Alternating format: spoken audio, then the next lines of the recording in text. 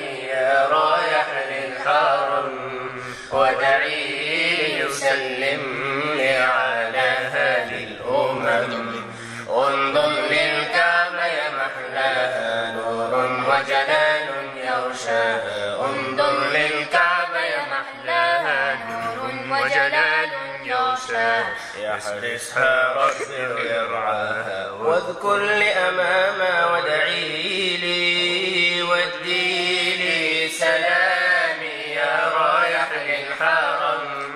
ودعي لي وسلمني على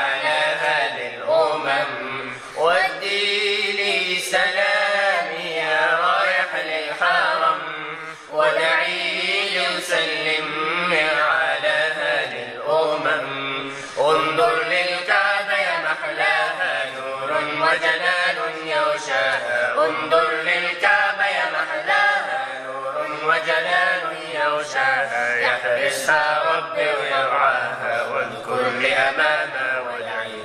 ودعي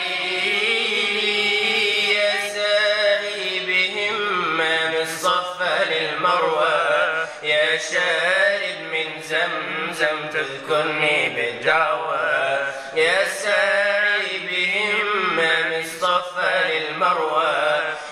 شارب من زمزم تذكرني بالدعوى يا طالع جبل الرحمة يا ماشي في وسط الزحمة. يا طالع جبل الرحمة يا ماشي في وسط الزحمة. اطلب من مولاك الرحمة والكل أمامه ودعي. ودعي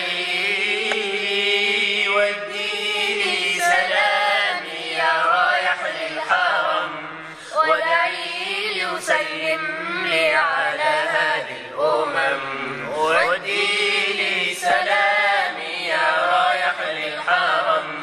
ودعي لي وسلم لي على هذه الأمم. انظر للكعبة يا محلاها نور وجلال يغشاها. انظر للكعبة يا محلاها نور وجلال يغشاها. يحرسها ربي ويرعاها واذكر لي أماما ودعي.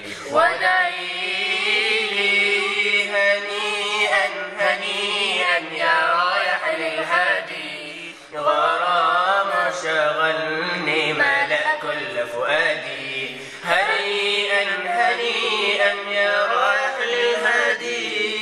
الغرام شغلني ملك كل فؤادي ادخل من باب السلام بتأدب واحترام. ادخل من باب السلام بتأدب واحترام. سلم على طه التهام وصاحبيه وادعي. وادعي والدين سلام يا رايح للحرم. وسلم لي على هادي الأمم ودي لي سلامي يا رايح للهرم. ودعيني وسلم لي على هادي الأمم انظر للكعبة يا محلاها نور وجلال يغشاها. انظر للكعبة يا محلاها نور وجلال يغشاها. يحرسها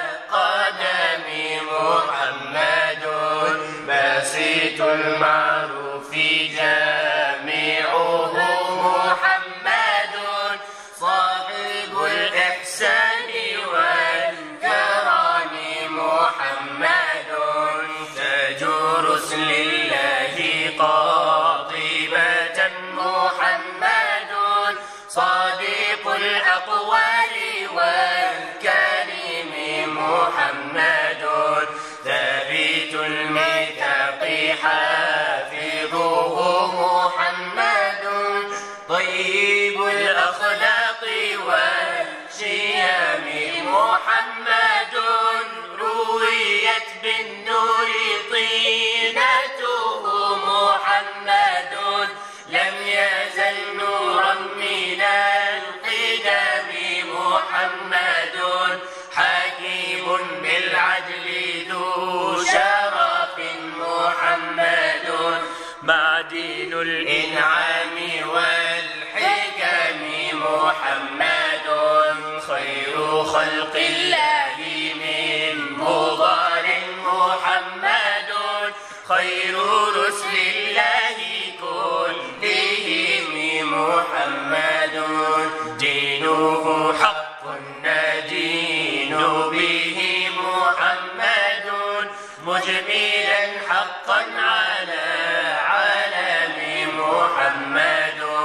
ذكره روح لأنفسها محمد.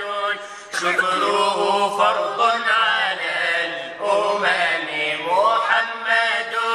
زينة الدنيا وبهجتها محمد. كاشف الغمة والظلم محمد. سيد طابت مال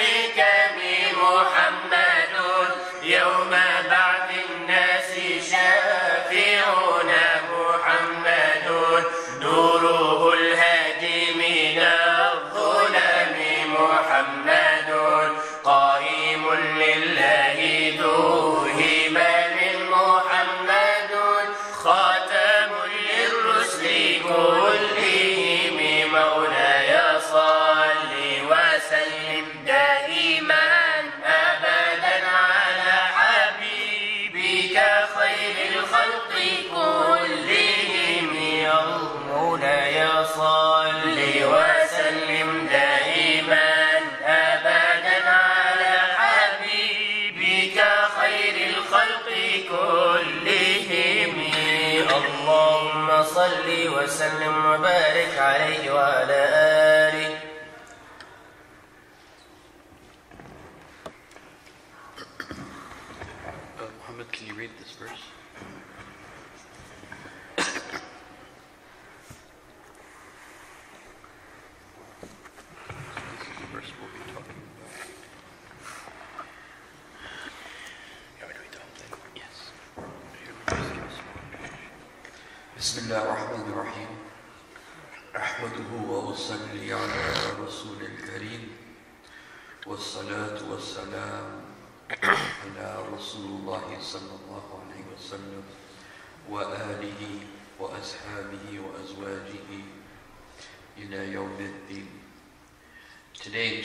will be discussing two issues. The first issue is going to be on ihsan, and particularly with particular reference on what is ihsan in relationships. Okay? So for the last few times we've talked about the hereafter, we've talked about our relationship with Allah subhanahu wa ta'ala, and now I want to talk about our relationships with each other and how the Quran describes this. And I want you to understand the philosophical basis of this. So inshallah I'll be going into some details. Now, what does our relationship with each other have to do with, or what's the basis of what it has to do with our relationship with Allah? Meaning, in other words, where's the bridge? What's the thing that ties the two things together? That is also something I will be discussing today. That the idea of doing, being good to people around you, what is that connected to? And how is it, how is your relationship with Allah connected to being good to other human beings? Meaning not in terms of doing, but in terms of, of uh, fitrah, your human nature. Okay? I'll be talking more about that in a little bit. But first I'm going to have Brother Abdullah recite the verse, the main verse that I'll be discussing today. There will be two sets of verses, or maybe three, that will be the main part of it. Then we're going to discuss some sayings of the Prophet after we discuss some philosophical issues.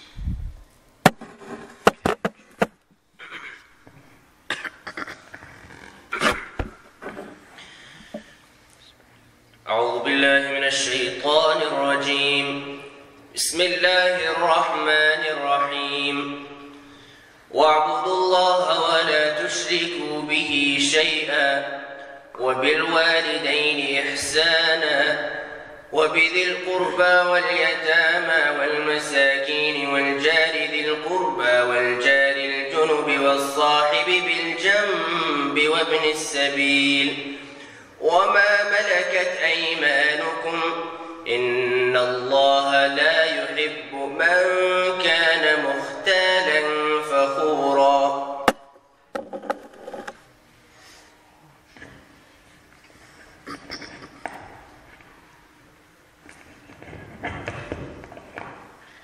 So, Bismillah ar-Rahman ar-Rahim. Everybody can hear me, right? Can we turn off the lights? Allah subhanahu wa ta'ala says, وَاعْبُدُوا اللَّهِ وَلَا تُشْرِكْ بِهِ Worship Allah and make no partners with Allah whatsoever. Okay? And then after mentioning the,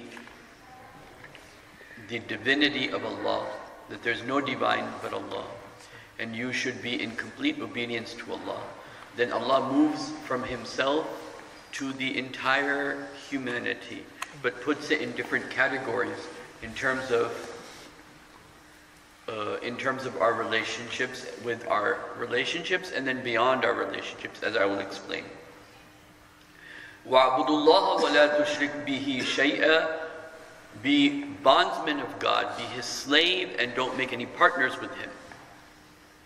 And number two, وَبِالْوَالِدَيْنِ إِحْسَانًا And show ihsan, perfection, show goodness and care and love to your, re- your parents. Then, now over here, the most important thing I want to mention, or very important point is, the first person that you have to show ihsan to is who?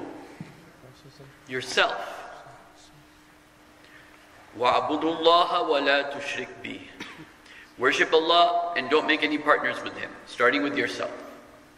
Then show kindness, love, compassion to your parents. Now, you know with family how it happens. There's the child, or rather, you can say there's the husband or the man. The man has his relatives, right? He has his siblings and his parents. And then his wife or the woman, she also has her parents and the siblings. So the first, you can say, circle of what we say the the the the the qurba. The first group is your parents and the people around your parents, like your sisters and your brothers. Then you have a child. And the child then gets married. And then that is his second group. So your first family is your family. Right? Your family, your parents and your brothers and sisters. Now you get married, now you have a new family. And now they're also relatives. Both are considered relatives in, in Sharia. Your parents are considered your relatives, and your wife's parents and her family and her brothers and sisters are also considered your what? Your relatives. And of course, the human predicament is that Allah starts with you, wa'budullaha, وَلَا تُشْرِكْ بِهِ شَيْئًا وَاعْبُدُوا اللَّهَ وَلَا تُشْرِكْ بِهِ And then Allah says, be nice to your parents. And then Allah says, وَذِي الْقُرْبَى And to your relatives. Now, in the category of being nice to your relatives, as I explained, who are your relatives? Who is the closest of your relative in these two diagrams that I just showed? Mm-mm. Parents is a separate category. وَبِالْوَالِدَيْنِ إِحْسَانًا وَذِي الْقُرْبَى We're talking about ذِي الْقُرْبَى Huh? Siblings? No. Your wife. Out of all of the relatives, the closest relative to the man and vice versa is going to be who? His wife. And so now there is a conflict sometimes that I've seen, you know, the parents say one thing, the wife says another thing. I'll go into that in a little bit. But first, I want to share with you some sayings of Nabi Muhammad wasallam on this issue. Okay?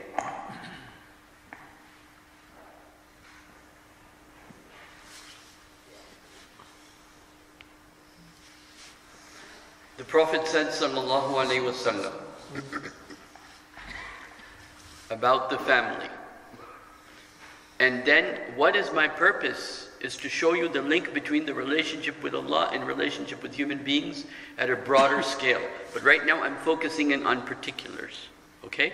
And then I'm going to open up and give you the macrocosm. But first, looking at a particular, Nabi Muhammad sallallahu alaihi wasallam says, أفضل دينار ينفقه رجل دينار ينفق على عياله the most excellent dinar a man spends is the one he spends on his family.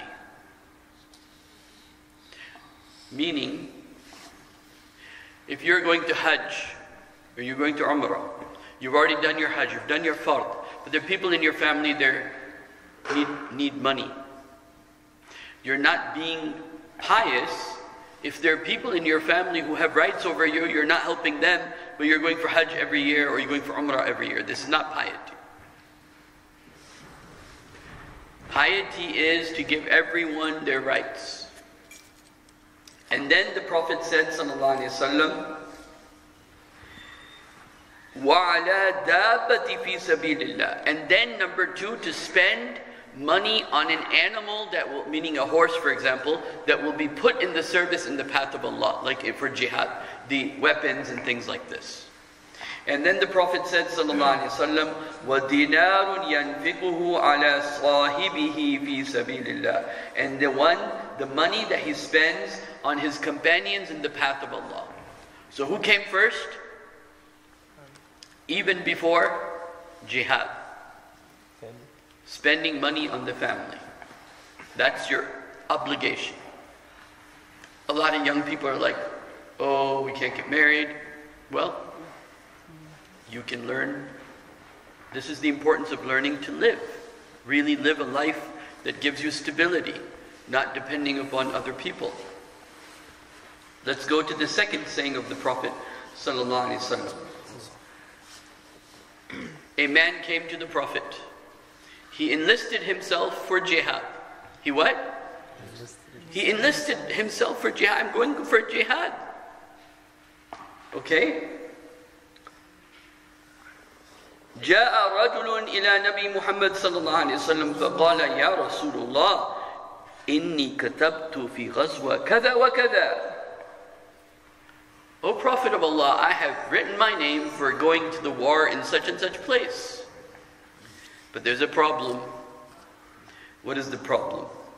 وَإِمْرَأَتِي حَاجَةٌ But my wife wants to go for Hajj. What did the Prophet say? Take her for Hajj and then enlist yourself for jihad. Take her to Hajj then enlist yourself for jihad. In another narration, the Prophet said, Sallallahu Alaihi Wasallam. So it says,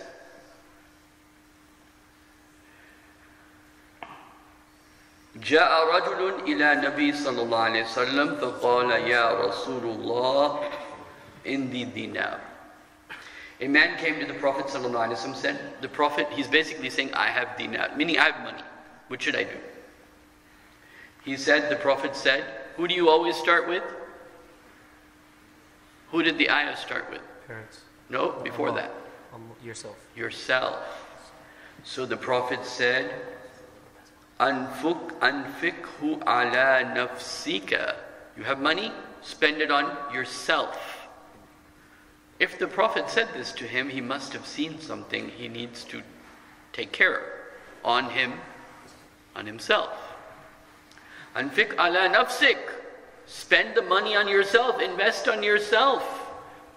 And then he said, قَالَ عِنْدِي آخِرُ I have more money I can spend on myself. Okay, what else? And then he said,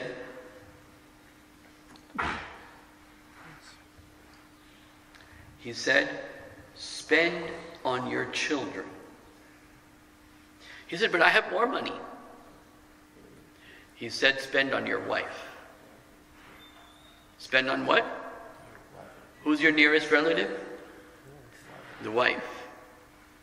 And then sometimes I've seen cases, men will prefer their brothers, their aunts, their uh, everybody in the world over their what? over their wife. The first relative in your life is your wife, Adam and Hawa. So she deserves your time, your money, your investment, etc., etc. Her desire. You know what? One of the meanings of love. One of the meanings of love. I'm forgetting which I'm, uh, uh, Allah help me with names, so I'm not going to mention the names. One of the great scholars of Islam, he defines love as when you forget your own qualities and wishes for the qualities of the other. Meaning, if I love the Prophet and generally I wouldn't like dates because they look like cockroaches to me. Generally, what? I would not like dates. But because Muhammad ate dates, I can let go my preconceptions, my notions, my feelings, my likes, my dislikes for what he likes. That's the meaning of love. That's the meaning of love. Is that when you can let go of what you what you prefer when you can let go of that as if it doesn't exist and prefer what the person you love wants as if that's your first preference. That's the meaning of love. So, how do you, much do you love Allah? How much do you love the Prophet? Is, is it just humble jumble of emotions? Or do you act, is it actually internalized? It is actualized. So, the Prophet said, Sallallahu Alaihi Wasallam, خيركم خيركم لأهلي The best of you is the one who is best to his family. وأنا خيركم لأهلي And I am the best to my family, the Prophet said. Why is he saying that? He's saying, look at me and my, huh? My wife. Look at me and my wife. Look at us. Look at our relationship. Look at how she lets go of her preferences for me and how I let go of my preferences for for her. And so he said, أنا خيركم لأهلي.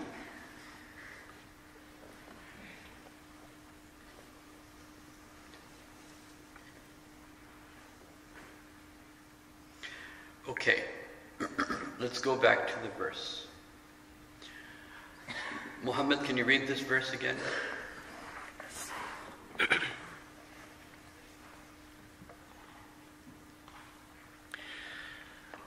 أعوذ بالله من الشيطان الرجيم.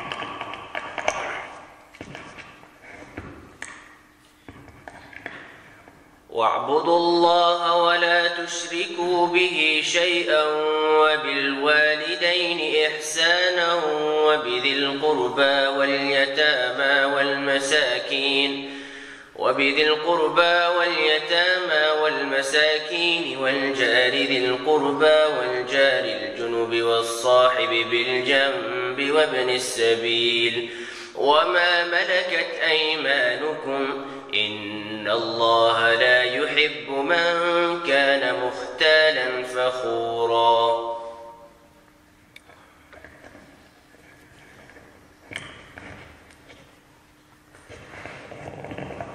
Under this definition of love that I just gave, it just came to my mind. I'll share it with you.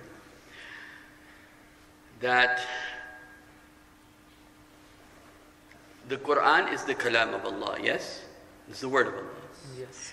And the Quran, every ayah is like a sifa of it's a quality of Allah. Yes? Yes. So when Aisha was asked, you want to know who are the Arifin? This is an answer of Arifin. When Aisha was asked, what is the what is the, was the Prophet like? What did she say? He kana khuluquhul. Quran. What does it mean in under the definition that I gave? As every revelation came to the Prophet, it removed his any personal preferences for the preference of the ayah. Yes? Allah said this, I accept. Allah said this, I accept. And awwalul muslimin. Until all his preferences were moved and all he had was revelatory preferences, the sifas of Allah, the qualities that Allah wanted, that Allah has, that Allah wants, wanted him to have and humans to have, they were reflected in his personality. So anyway, وَبِالْوَالِدَيْنِ إِحْسَانًا Show goodness and kindness to your parents. Now remember, goodness and kindness is one thing, but legalities are something else. What did I just say? Goodness and kindness is one thing. Legalities is something else. If you owe somebody a like something is fard on you, it is more important than ihsan. Do you see what I'm saying? I'll give you another example. Praying Dhuhr prayer is fard, yes or no? Yes. Praying the sunnahs after that is a type of ihsan. Yes. It's a type, what is ihsan? Perfection. It's a type of perfecting, right? Yes. So the fard comes before, before your sunnahs, your nafals, your ihsan. In fact, what are sunnahs? Sunnahs are the nafal that the Prophet prayed became sunnah. There was no prayer called sunnah. It was only, there's only fard and nafal. When a Prophet prayed a nafal, then that became sunnah. Meaning, after dhuhr, the Prophet wasn't saying, I'm going to pray, I make intention to pray my sunnah. No, that was his intention was to pray nafal. That nafal that he prayed consistently at that time, every day, became sunnah. So there is ihsan, which is part of the nawafil, part of the higher good deeds. And then there's the things that are obligated to you, have to do them. Who is your closest relative? Your wife. In terms of ihsan, the parents have been providing for you and helping you and praying for you and doing good deeds for you for a long time. But the rights you owe your wife are not just at the level of ihsan, are they? They're things that you owe her as part of the fard, yes? Certain duties you have to do as a husband, and that is not just being nice, it's part of what? Fard. So if there's a conflict between the parents and there's a conflict between the wife, the Prophet told that man who wanted to go for jihad, take your wife for Hajj first. Huh? What did the Prophet say? Take your wife to? Hajj first. If there's a conflict between parents and the wife, who should come first? The wife should come first because hers is an issue of obligation. And the parents, now that you're an adult, you don't have to listen to everything that they say, but you have you have obligations to your wife that you don't have to your parents. You have to show kindness to your parents. And so, a lot of times when I talk to people, they're like, oh, I have to be, I have to do this for my parents. And the other rule that I tell people is that if my family has a problem with my wife, they should tell who? Go to my wife? No, Behind my back? no.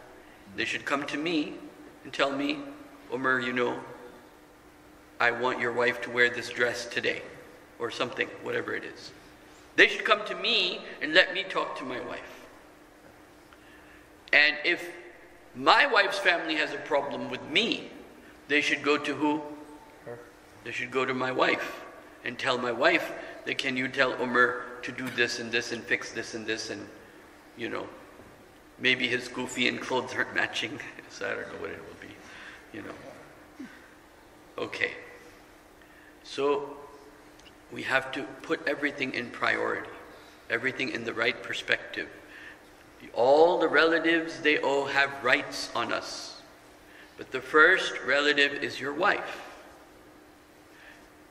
she comes in terms of obligation even before your parents. Okay, let's read the verse again. Let's go to the next one.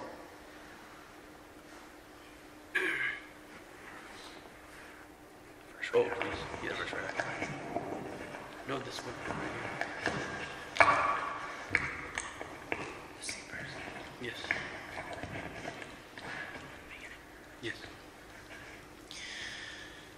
أعوذ بالله من الشيطان الرجيم.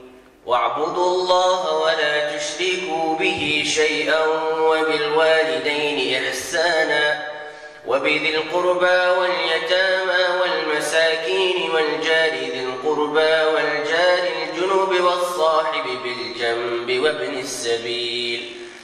وما ملكت أيمانكم إن الله لا يحب من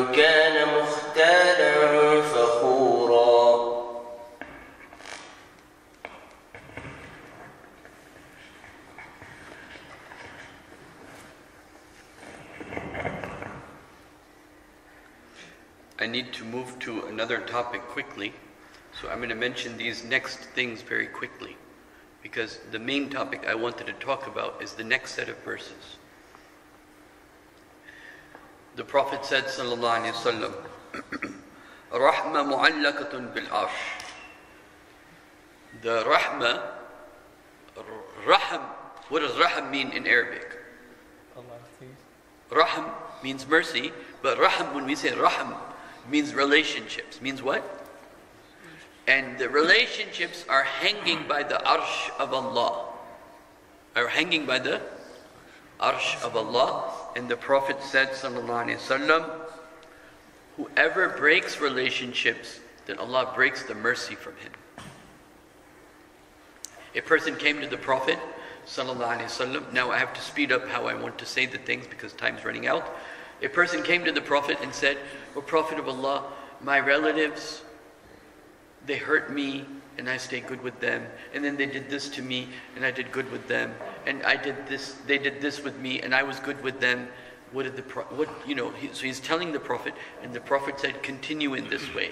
Continue in being good to them, even if they're not being good to you. Does that mean they have to become your best friend? Does that mean that you have, adopt, you have to adopt a toxic relationship that's always making things difficult in your life? No. No. Do you owe them some obligations? You owe them a salam. You owe them that if they invite you, you go to the place that, that they may be there and the other people in the family. For the sake of the unity of the family, you go to the place where you've been invited, even if this person's coming. You keep your relationship in- a distant but good. You don't say anything back. You don't backbite them. You don't slander them. You don't hurt them. You just keep your distance to not be affected by their toxic relationship. The problem nowadays is everyone's complaining about my brother this and my sister this and my my my puppy this and my aunt this and my you know all the relate this is the problem in the ummah today and not just the ummah but the world is that relationships don't get along anymore. And people don't know how to deal with people in a healthy way that if there is somebody trying to hurt you, it doesn't mean you be so nice that you become that you become like the doormat for them. No, that's not what is being mentioned here. The prophet is just saying, don't don't you be don't be the one that responds negatively to a negative situation. You can keep your distance. You can say your salams. You can pray their janazah. You can accept an invitation that in which uh, the family members are invited, in which that person will be there. You don't say anything bad about them.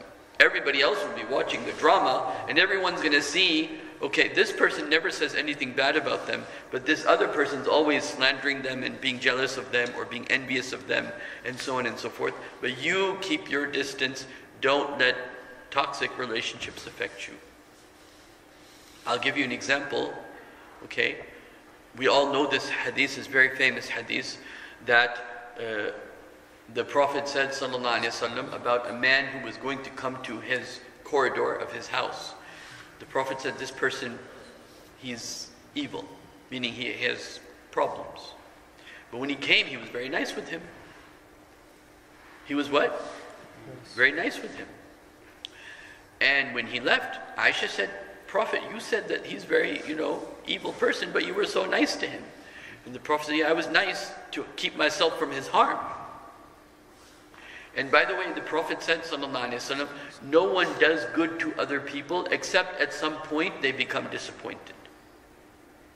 Meaning, if you're always good to people, you're gonna get what? You're gonna get disappointed, you're gonna get hurt. It's gonna happen. You're gonna get hurt, but that's part of the process. The process is to stay good, even if people are what? Even if people are bad. Now, this is the part of where I wanted to take this discussion. We didn't complete the ayah, but listen. There are people who, by their, their they are inclined to do good by their nature, natural being. They're what? Inclined to do what? Good by their natural being, by the person who they are, by the person who Allah made them, they're always inclined to doing good deeds. But who is the person who is not inclined to doing good deeds? The person who is inclined not to do good deeds.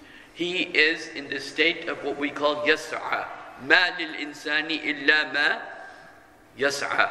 There's nothing for man except what he's striving. He's striving to be good, but his his fitrah is not there. His ruh is not strong enough yet that he's overwhelmed with goodness. What does that mean? To be overwhelmed with goodness. I'll tell you what that means. To be overwhelmed with goodness is when be, being good and doing good is your first instinct with a person. And especially with the youth, what I see today is very disappointing how you're always cutting each other down because it's not your first instinct to be good. And so you have to struggle, and that's called sa'a. There's nothing for man except what he, you're struggling to be good, but you're not good. Meaning, I'll give you another example. There's a person, he did something good. Did something good is different from being good. Somebody is being good means that in all aspects of his life, with all people in his life, his general attitude is being what? Good. He's inclined to being good. Even if somebody says something bad, he will change the meaning to something good. Okay? Like they were making fun of the Prophet and they were uh, changing his name, like changing it from Muhammad to something else. I don't want to mention. And the Prophet said, Well, they're not talking about me, they're talking about this other person. That's not me. I'm Muhammad. Sallallahu Alaihi Wasallam. So you take that's that's a person of good nature. That somebody's making fun, the society is making fun of you, and you're still seeing it in a positive light. Are you inclined towards doing good? Who is the person who is inclined naturally? His fitrah is to always be positive, to be good, to be, I don't like the word nice, but you know, to be nice, to be kind. Who is that person? What is the one thing he does not have? What's the one quality that if you have it, then you're not there? You're, and that is the person who does not complain. The person who what? The person who complains, to not be the person that complains is the precondition. That you are a good being as a person. It is your fitrah, it is your nature. You don't complain. The person who complains, now he can do good deeds, but it is not in his core being, it is not his essence. It is not the essential, his ruh is not surrounded by good thoughts and good overwhelmingly. Because he's what? He's what? Complaining. So the, Allah subhanahu wa ta'ala says in the Quran, I'm going to have Muhammad read these verses, extremely, extremely important verses of the Quran. Uh, let me just bring it up here because I don't see it.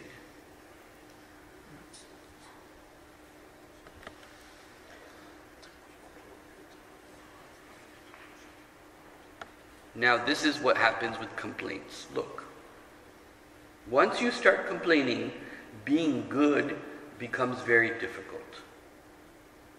And here's an example from this ayah number 15.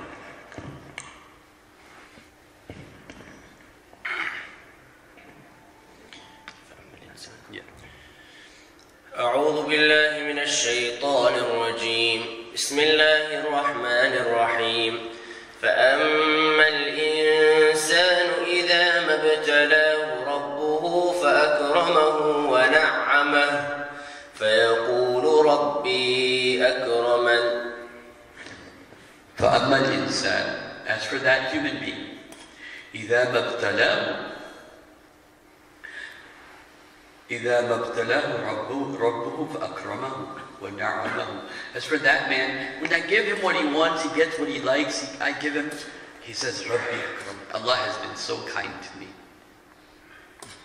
But then, Allah tests him, and then what happens? وأما إذا ما ابتلاه فقدر عليه رزقه فيقول ربي أهانن And then when Allah takes away his, his sustenance, his money, something he wanted, then Allah has disgraced me. He is now complaining. Now this person that is complaining, his fitrah, his being, I'm not talking about being, doing a good deed. I'm not talking about what? Doing a good deed. I'm talking about being a good person. The person who is being a good person will naturally be good with his parents, will naturally be good with his relatives, will naturally be good with his orphans, will be naturally good to his relatives, will be naturally good because it's, it's what he is. He doesn't complain Means, he doesn't complain means he sees everything in what light? In good light, in positive light. He has a good opinion of people. Even if they've disappointed him, despite that he has good opinion of other people. So, then Allah says, then such a person who is complaining to Allah, what does it end up being? Now the next verse. كلا بل لا تكرمون اليتيم See, He's complaining to Allah, and then now Allah is saying, but no, you don't even have karam, honor, honoring the yatim. You don't respect the yatim? Why? What's the relationship? He's complaining to Allah when money, anything is, he wants is taken away from him, he complains. He is grudges. He has uh, difficulty accepting the, that Allah has decided this for him. And so now he looks now he looks at society from that light, from that negative light. Oh, Yatim, oh, put them away. They're they're they're they're not good people. Right?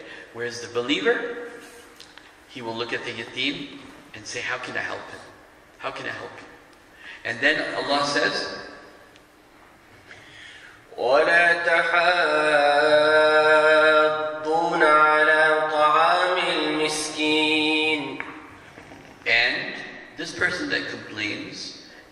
encourage other people to feed the poor. Because he's complaining, of, look, he's, he's, he's, his attitude towards himself is then reflected on how he sees other people. Then Allah says, وتأكلون التراث أكلا لما and you try to eat up the inheritance. Take, like, your parents are going to die now. Now you say, all of that money should come to me. me instead of following the Islamic law.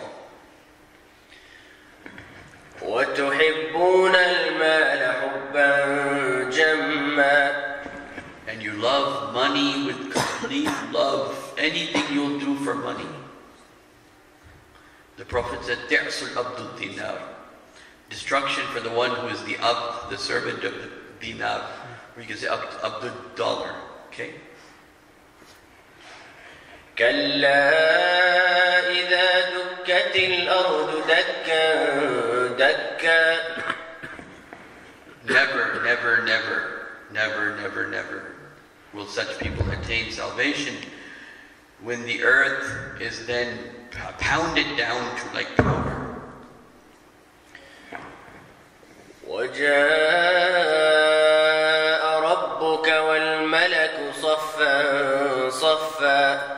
And then Allah continues until these verses that I want to now share with you from here now. As for the person who doesn't complain, what does it mean? I'll tell you what it means. Now, at the last few verses, Allah explains the nafs of the person who doesn't complain.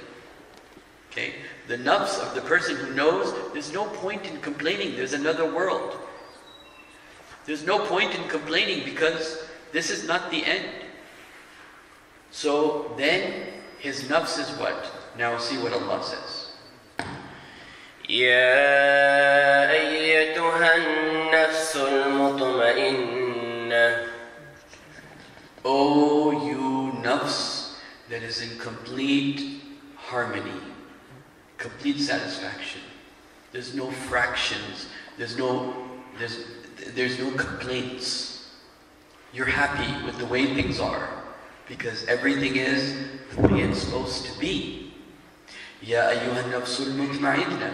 Allah is saying to the soul that is not complaining, to the soul that's in, contented, that if Allah gives, He's happy, if Allah takes, He's happy.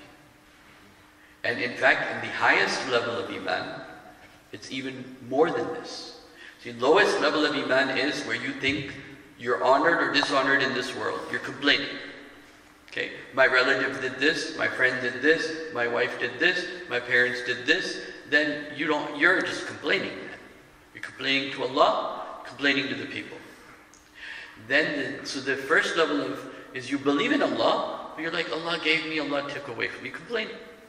Second level is whatever Allah takes, whatever Allah gives is Allah's will. I'm not going to complain. Higher level than that is that when Allah takes, you're contented. When Allah gives, you become worried that maybe Allah is giving me in this world before the next. What is an example of that? The most famous example of that is Imam Ahmad bin Hanbal, rahmatullah alayh. You know, when the issue of the creation of the Quran happened, they put him in prison. And they used to lash him in a way they used to say even the elephants would cry. Okay? Used to lash him to give in to the fact that the book of Allah is not eternal, that it's created.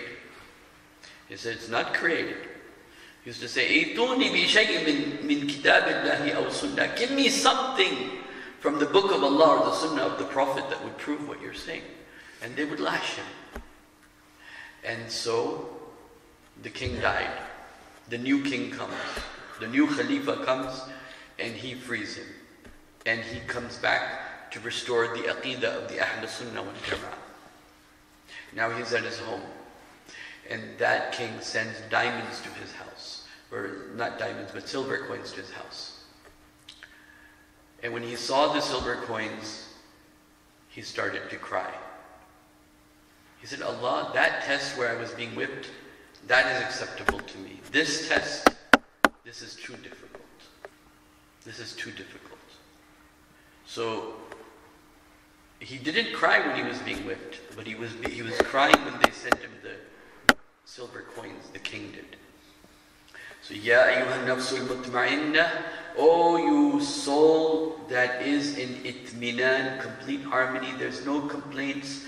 You know you're going to die and you're fine. No complaints. And then what does Allah say? ارجعي إلى ربك راضية مرضية Return back to your Rabb. The happiest moment in some of the people's lives. Today I will meet Allah. Today I will meet Allah. And my ruh will be taken all the way under the arsh of Allah, and I will do sajda to Allah from that place. Irji'i ila rabbiki radiyatan mardiya. Allah is happy with you, and you're happy with Allah. Then what does Allah say? فادخلي في عبادي and enter into the Jannah of my servants, all the people you used to read about. Imam Abu Hanifa, Imam Shafi'i, and all the great people, you'll begin to meet those people you used to read about. Your relatives that died, your friends and your teachers and your mashayikh that passed away, you'll meet them. Enter with my servants. You're not going to be alone. There'll be nothing to worry about. Right? And then and enter into my Jannah, my garden that I made for you, that has your name on it. And so we have to not just do good deeds, we have to inculcate a attitude of goodness that is to the core of who we are. To the core of being good and having ihsan to our parents, to our relatives, to the orphans, to the needy, to the to anybody that's hurt should hurt us. Goodness should be part of who we are. It should be the dominant factor. Not like, oh, I'm going to do a good deed today. That's not the point. The point is, have you become good? Is it in your nature to be good? If you see someone suffering, does it affect you? Do you want to help them? And the biggest test is not like, oh, people in Gaza are dying and you feel bad for them. That's easy. It's the, it's the close ones to you, those that have bothered you, those that have hurt you, those that have irritated you, and you're still good to them. That really is the litmus test if you're really a good person or not. So may Allah subhanahu wa ta'ala help all of us to be good down to the core of who we are. This is called bir, abrar. You know, this is why also I want to explain something. That part of the fitrah is that the people that initially accepted Islam, like the Prophet, did he care about the orphans and the poor before he was a prophet? So goodness was part of him from before he even became a prophet. This is why the Prophet said, خَيْرُكُمْ فِي الْجَاهِلِيَّةِ خَيْرُكُمْ فِي الْإِسْلَامِ The best amongst you in Jahiliyyah. You didn't know Islam. We were, you still had a good nature. And then you became Muslim. And then you were in really more harmony even with yourself because Islam is the religion of fitrah. According, it is the religion of your nature, human nature. It's the religion of human disposition. And so the good things become even more enhanced. And so now, what is the lesson? The lesson is to ask yourself, do I complain a lot? Do I complain about people a lot? Do I complain to Allah? Am I not happy with the way Allah has done things? Because if you complain to whomever you're complaining, for whatever reason you're complaining, unless it's a matter of an obligation within Sharia, that's the exception. But if you're, compla- if you're a complaining person, then goodness hasn't surrounded you yet. It hasn't become part of who you are. It has not become yet. And you're not at nafsul mutma'inna. Nafsul mutma'inna is the one who is like, even to the point of letting go of obligations. That's fine, it whatever Allah wills, that's fine, I don't care. So may Allah subhanahu wa ta'ala help us all, inshallah, to be of the people who have nafsul mutma'inna, who never complain to Allah, no matter what happens. We don't even complain to people. You know, my sheikh told me, he said, if you ask somebody to help you, let's say you you asked somebody to help you one time, two times, three times. After that, he says to ask the same person is like shirk. It's like making partners because you, it's, if it's not going to happen, it's not going to happen. Just whatever Allah wills, whatever Allah wills. Itminan. You know? And so the point is, that are you a complainer? And if goodness is part of who you are, and then just let me very quickly before we do our dhikr, worship Allah and make no partners with Him in anything, in any way. وَبِالْوَالِدَيْنِ إِحْسَانًا And be good to your parents. وَبِالْ الْقُرْبَى And to the near relatives of yours. وَالْيَتَامَى And to the orphans. وَالْمَسَاكِينَ and to the masakin, those people that are helpless and helping their situation. وَجَارِزِ الْقُرْبَى And those people who are like your neighbors. وَجَارِ jumbi, uh, And those people on your sides of your neighborhood. Okay? And وَصَاحِبِ الْجَنْبِ And the person who you sit with, meaning at your office, at your workplace, in the masjid, the person you're with, like you're praying tarawih, the person to here, and the person here, or you're in the plane, the person to your right, and the person to your left, sahib al-jumbi, wabn sabil, and the person who's traveling and he's lost his directions, lost his money, lost everything, help him out. وَمَا مَلَكَتْ أَيْمَانُهُمْ إِنَّ اللَّهَ لَا يُحِبُّ مَنْ كَانَ مُخْتَالًا فَخُورًا Allah doesn't love those people that are self-deluded and boastful. Is goodness part of who you are? And the test is, if you what? Huh? Complain. If you complain, you don't have nafsul mutma'inna. And then you have work to do. You may do good deeds, but it's not part of who you are yet. فأقول قولي هذا أستغفر الله لي ولكم ولسان المسلمين والمسلمات Inshallah we'll have dhikr and then we can finish.